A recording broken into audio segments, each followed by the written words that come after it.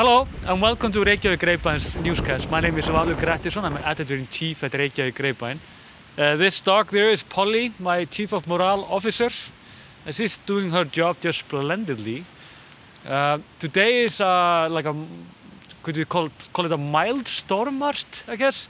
There's a storm going on and, and that's why we're not going, if we would even try to show you Reykjanes, uh, where the volcano is, there is, uh, not the volcano, the, the where it could possibly erupt, uh, you wouldn't see anything. It's just snow white and it, it's just way too much wind there and no way to do anything productive there. so we're going to show you a little bit around downtown Reykjavik. We're close to Hallgrímskirkja here, which our huge church in the downtown area. You've probably seen this in some photos and or, or if you have been in Iceland, you've definitely seen this. Before we start, I uh, just want to remind you on our sponsors, of course, our wonderful Einstök Brewery. You can find them at einstökbeer.is.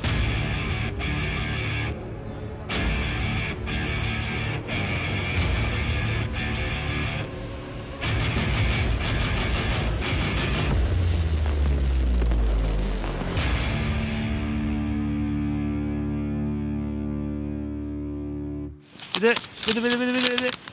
Ah.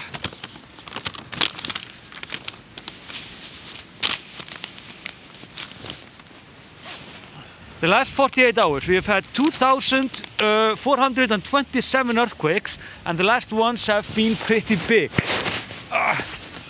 Uh, the biggest one was 5.1, which is not terribly much, but it's, it's quite something. Uh, it, it, hit us at uh, 3 uh, in the night, last night. So it's, uh, nobody really felt that one. Uh, nothing to panic about at least, but you feel it. Some people woke up, of course, but not that many. Uh, I was, uh, and also there was a huge, uh, also like an earthquake this morning. It was 4.1, and I was at the dentist office with my kids. Uh, thankfully, they were not in the chair when that happened. But I mean, you can imagine being a dentist in the time of like this. So, uh, if you're thinking about my backpack, it's because I'll show you later on. I had to take some stuff with me. Hey, Polly, hvað? Polly got stuck. Hvað er þið? Hvað er. Anyways, this path is weird, just to tell you. What's happening with the volcano is the newest news. We have new satellite images, and that shows us that the magma is now at one kilometer depth, which is, well, quite shallow when it comes to the magma. Like, uh, it used to be at seven kilometers and now it's thrusting up and it's remember it's, it's like five kilometer long this crack and the, it's uh, it means that uh, like south of it is at one kilometer but the rest is on like from two kilometers to three kilometers but these quakes are of course closely connected to this and it means that the, the magma is trying to like go into the cracks and making this huge tension about it a geologist said last, yesterday in the news at the roof that uh, it's so close to the, to the surface that it's very likely that when the, the, the eruption will go off, there will be no indication before, no warning or anything. But the good news is it doesn't really need to be any warning because they think this uh, volcano will be similar to the one that we call Fimmvörðuháls. Uh, it used to be, uh, in, it was it erupted in 2010 and it was uh, close to Eyjafjallajökull and it was a year before the Eyjafjallajökull erupted. But Fimmvörðuháls, which is also uh, like the, the, basically the best hiking route in Iceland in my opinion, a little bit hard to, to hike, it's 24 kilometers and you do it in one day. Uh, but this uh, mountain is uh, there wasn't even a mountain there in, in Fimmvörðuháls. We, didn't even know that it could erupt at all but it erupted uh, and it was like a very beautiful uh, volcano, very small, and it became like a sensation in Iceland. Oh, everybody just hiked the Fimmvörðuháls and, and saw it, and, and you could even drive not up to it, but pretty close. It was also, if you need, need another landmark, it was very close to uh, Þórsmörk, which is a, a, magical place in Iceland. Nothing less than that. Uh, also, I, I forgot last time and when I was watching the video again, I forgot to mention that uh, like when the eruption will begin, when the cycle begins, it's like because we we we often fail to think about Earth time, which is very different from uh, our lifespan, of course. So the, the, the cycle will be 200 to 400 years.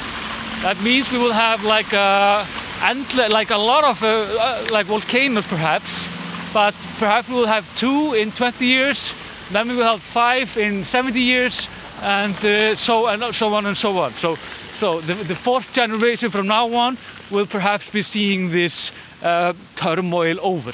But between these volcanoes, it will be perfectly fine. So perhaps this will go off, and I will not see another volcano in my lifetime. So, uh, so you never kind of know. But we know that the area is where it is, and like I explained last time, I mean, these houses are not going anywhere.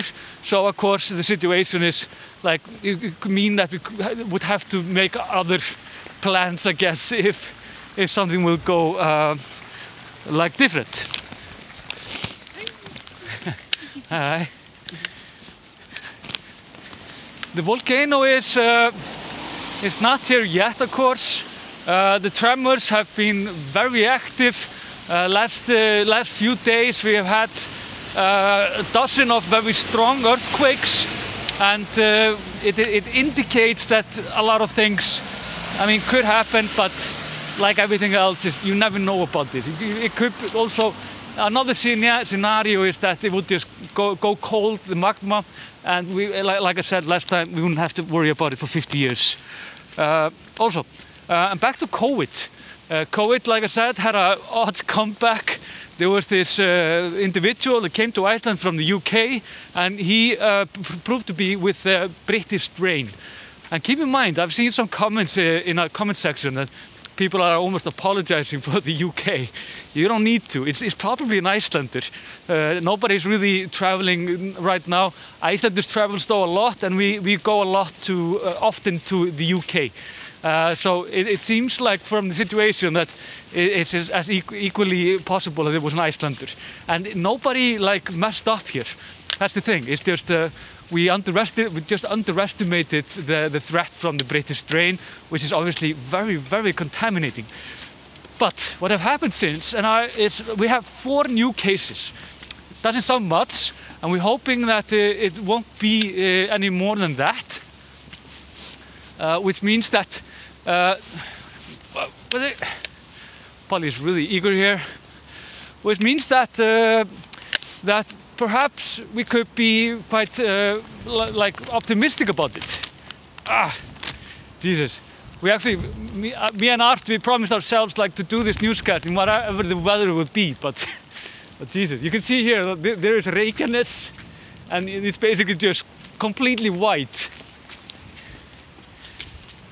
Not sure if you want to be there right now, and the city area is always the, like at least the downtown area is always the, with the best weather when it comes to wind and so on. But at the moment you go out uh, outside Reykjavik, you will find yourself in, in, in trouble even if, if not going careful. But back to COVID. Já, losaði þig? Koti? Koti? Koti? Koti?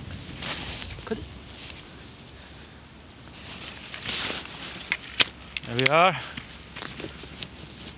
So this, uh, this individual that was working at our hospital and got uh, infected by his neighbor that came from the UK, he went to a concert with this classical superstar called Víkingur Heiðar and that classical superstar uh, had a concert with 800 people.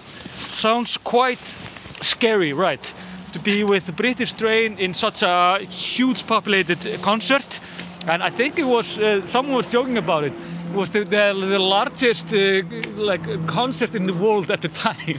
Not sure if it's true, but it's it's a, it's a fun fun point. Anyways, uh, what happened is that everyone that was at the concert yesterday, uh, on, on Friday, sorry, they were tested, of course, for COVID. And nobody has been tested positive from that. There was two that was uh, tested positive.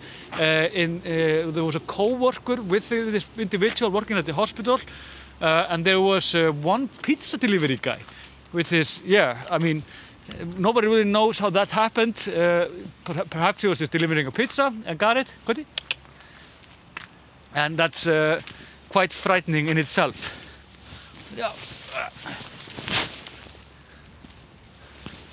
So, what we think is that uh, what, what saved the guests at Elborg, uh, Harpa, the, the concert, uh, is was the mask.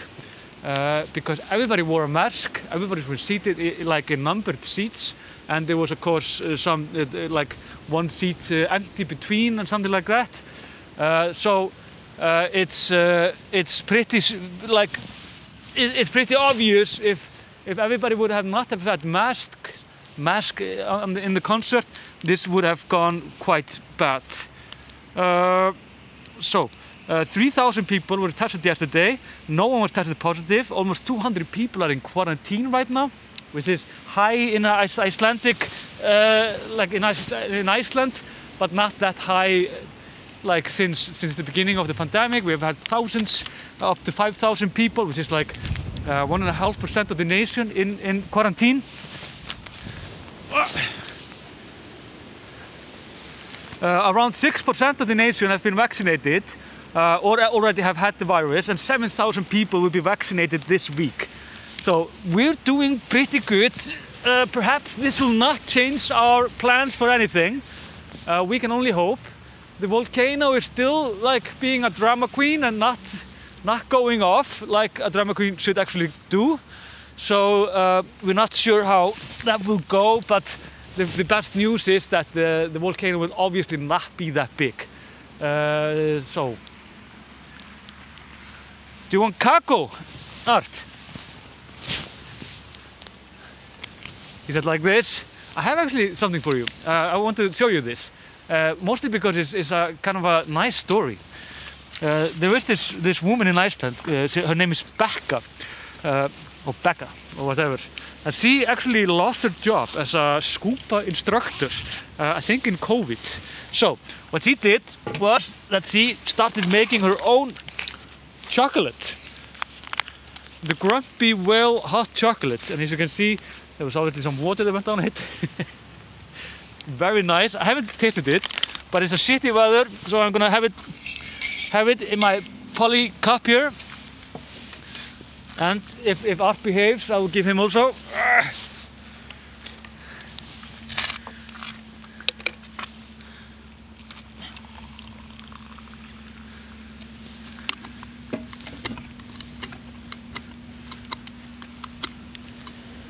Ah, need a new. Oh, there we have it.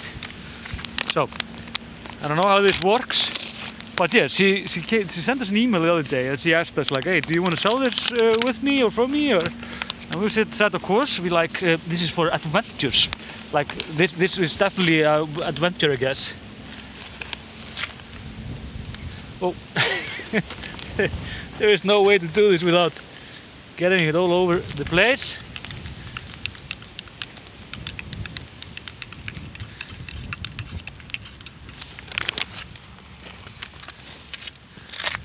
And of course, you can buy a poly mug if you want to.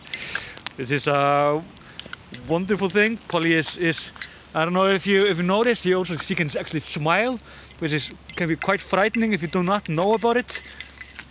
So she is, uh, and she loves snow. Uh, that's like her favorite uh, season. If it's a lot of snow, she absolutely loves it.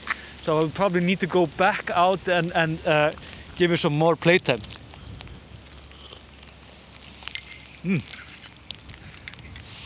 It's good, really good.